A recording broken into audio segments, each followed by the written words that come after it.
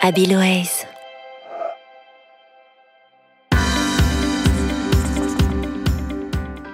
Bonjour, je suis Thomas Jamet, je dirige en France IPG Media Brands, qui est un groupe d'agences médias appartenant à Interpublic, quatrième groupe mondial de, communication. On a deux agences, Initiative et. Euh, je suis également spécialiste du brand content pour l'avoir pratiqué pendant quasiment dix ans chez Publicis, ainsi que le planning stratégique. Et euh, je suis également professeur à Sciences Po, où je donne des cours en brand content à un niveau international. L'importance du récit dans une stratégie de contenu, pour moi, elle est liée à trois points. Euh, la première, c'est euh, que l'histoire soit euh, pleine de sens. Et je pense qu'aujourd'hui, on n'a pas assez, malheureusement, de communication, de publicité, de contenu qui, porte vraiment cette valeur de sens. Quand je parle de sens, je m'explique, c'est que l'histoire qui va être portée euh, puisse réellement à la fois incarner l'ADN de la marque, et ça, ça se, travaille, il y a des codes à respecter, il y a un ensemble de, on va dire, de, vocabulaire, de, thèmes euh, à porter, pour valoriser l'ADN de la marque, porter cette histoire-là, c'est extrêmement important, ça fait partie vraiment des choses à faire. La deuxième, c'est qu'elle soit euh, viralisable. Donc, euh, quand on parle de récit, on parle d'oralisation, on parle de discours, on parle de choses qui peuvent se, se transposer, qui peuvent évidemment euh, se consommer sous, des formats différents, de la vidéo, du texte, mais aussi quelque part qui se, qui se partagent, qui se partagent à l'oral, qui qui d'une certaine manière aussi sur les réseaux sociaux euh, peuvent faire l'objet de commentaires. Donc, on, est dans cette discussion et il faut que l'histoire puisse porter cette valeur de discussion. Et enfin, le troisième, c'est la qualité de l'histoire en elle-même, c'est-à-dire évidemment, au-delà de la production et de la forme, euh, c'est la narration et c'est le fait qu'aujourd'hui, peut-être trop malheureusement, on a des histoires qui ne sont pas faites par des professionnels, qui sont faites par des gens qui peut-être font de la publicité ou essayent de faire de la publicité autrement en utilisant le contenu, mais qui d'une certaine manière ne portent pas réellement cette narration parce qu'elle ne respecte pas finalement ce qu'est une vraie narration, un vrai storytelling, à savoir du sens, une virilisation et également une qualité de production et d'histoire.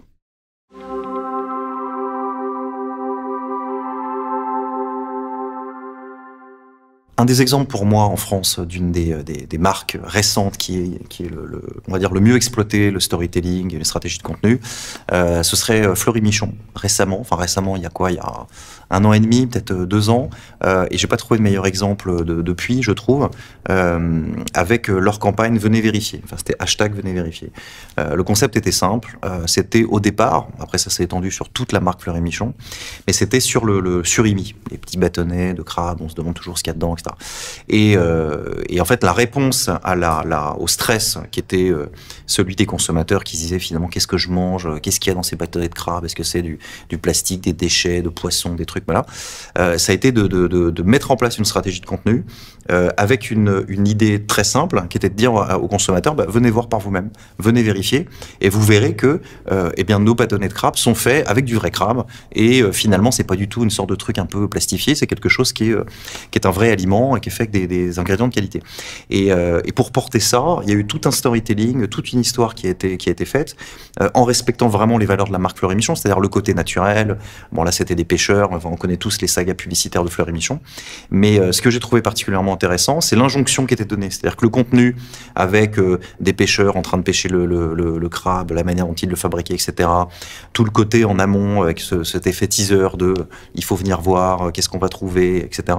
Le plus intéressant c'était qu'il y avait une sorte de dynamisation du contenu de par cette injonction, de par la question qui était posée et de par cet ordre quasiment qui, qui était fait et qui, d'une certaine manière, euh, eh bien, gomme tout de suite, a priori, tous les, toutes les suspicions. Parce qu'évidemment, tout le monde ne va pas les vérifier, mais si on dit venez vérifier, c'est qu'on n'a rien à se reprocher. Donc c'était particulièrement malin et euh, j'ai fait partie de, plusieurs jurys euh, publicitaires et, notamment en, en brand content, que ce soit à Cannes ou, en France. Et là, en l'occurrence, c'était le grand prix du euh, stratégie du brand content 2000 2015, je crois. Donc j'étais président du jury avec également un annonceur qui était coprésident. Et donc on a, on a décerné ce, ce, ce prix à cette stratégie, qui était d'ailleurs plus que du contenu à part entière, une vraie stratégie d'entreprise, une vraie stratégie de marque.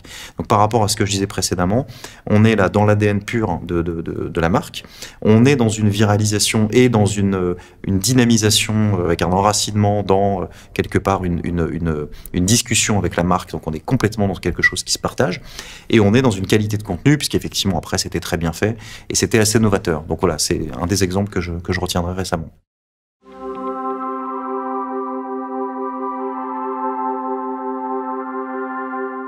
Les meilleurs éléments euh, dans un brief pour, euh, une agence qui voudrait faire du storytelling, enfin une marque qui voudrait nous briefer, par exemple, je dirais qu'il y en a, y y en a quatre. Il y a quatre étapes. la première, c'est d'avoir un bon planning stratégique quand je dis un bon planning stratégique, c'est une, une analyse qui soit, euh, alors évidemment, elle va être faite par l'agence après et par les, planeurs euh, ou par les stratèges, mais en amont, euh, chez l'annonceur, on doit aussi se poser la question des objectifs. Ça, c'est hyper important. C'est-à-dire comment et comment je vais faire, bien évidemment, pour adresser mon message, mais surtout, qu'est-ce que je veux faire? C'est quoi mon objectif? Et essayer de le quantifier euh, au, maximum. Donc ça, c'est la première étape, ça de, vraiment, avec l'aide des planeurs, euh, et c'est très important parce que la plupart du temps, c'est fait par euh, euh peut-être même les financiers ou voilà. Donc c'est pas ça un vrai objectif parce qu'on parle de contenu, c'est-à-dire à quoi je veux arriver. Est-ce que je veux euh, finalement que ma notoriété euh, monte dans des, études que je pourrais faire après en post-test? Est-ce que je veux vendre? Est-ce que je veux créer de l'attachement à la marque Est-ce que je veux créer quelque part une, profondeur de discussion avec un nombre de likes, de shares bon. Donc voilà, quel est l'objectif? Et ça, ça doit être précisé dès le départ avec les planeurs. Deuxièmement, euh, c'est euh, l'insight, c'est-à-dire quelle est la, vraie vision euh, qu'on a par rapport à une question qu'on se pose. Donc par rapport à l'objectif, puisqu'on a une question et qu'on a un objectif, comment on y répond? Quelle est la réponse? En partant du consommateur et en partant de ce qu'on va lui apporter. Parce qu'il ne faut pas oublier, je fais une toute petite parenthèse, qu'on parle là euh, non seulement à des consommateurs évidemment, parce qu'on est euh, dans une démarche publicitaire au sens large du terme, on est là pour vendre un produit, in fine quand même, ou pour euh, faire la promotion d'un service, et donc on, s'adresse à des, consommateurs qui sont pas uniquement des cibles, mais surtout, puisqu'on parle de contenu, des audiences, à qui on va raconter une histoire, un public qui a le choix de zapper ou de regarder, et encore plus à l'ère de, de l'adblocking. Donc euh, cet insight est particulièrement important. Quelle, quelle est l'histoire qu'on veut raconter? Euh, Le troisième point, c'est euh, la, la, qualité créative, c'est-à-dire l'idée qui va euh, sous-tendre euh, ensuite la réalisation de cet insight. Donc là, pour le coup, c'est très clairement le travail de créatif. Euh, mais de créatifs qui savent traiter le contenu. Et, et aujourd'hui, et pour en, en, parler beaucoup avec mes camarades d'agence de pub, et notamment dans notre groupe, notamment de chez McCann, euh, c'est très compliqué de trouver euh, euh, des, des, des, créatifs qui maîtrisent le contenu. Et quelque part, on, on les trouve uniquement, et j'ai l'impression que c'est euh, quelque part peut-être un effet générationnel, chez les jeunes créatifs qui sont digital natifs, qui sont nés avec le digital, et qui comprennent dès le départ qu'on est dans une dynamique qui n'est pas celle de la pub, avec des, spots de 30 secondes et quelque part une réclame et des effets de réclame qu'il faudrait dépasser. Et enfin, le quatrième point, c'est des moyens pour la production, parce que ça nous est arrivé euh, dans, une vie antérieure, donc notamment chez Publicis et puis encore là chez Mediabrand dans mes activités, de, nous voir donner des objectifs très importants et finalement de, penser que le contenu va être uniquement là pour porter quelque part le message euh, sans moyens. Donc euh, quand je dis des moyens, c'est évidemment pour la prod et aussi pour les médias. S'il n'y a pas de stratégie média derrière, ça sert à rien.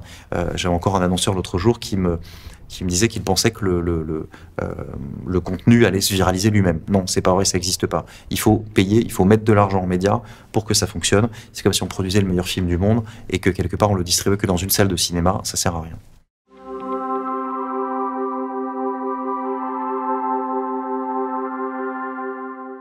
Pour conclure, je dirais qu'il faut il faut pas oublier qu'on est euh, il faut rester humble. Hein. Euh, on, est dans un, exercice publicitaire. Euh, on est là pour faire vendre des produits, comme je le disais précédemment.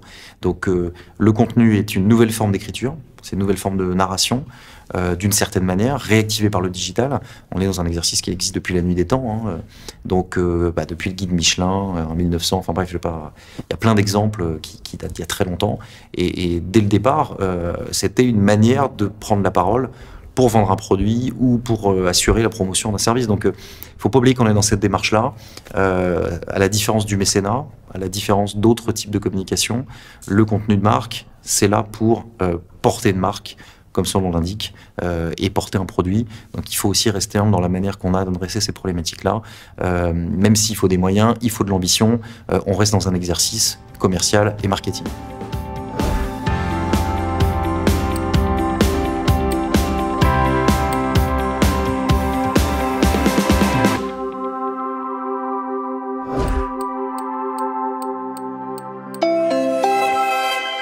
Habiloès.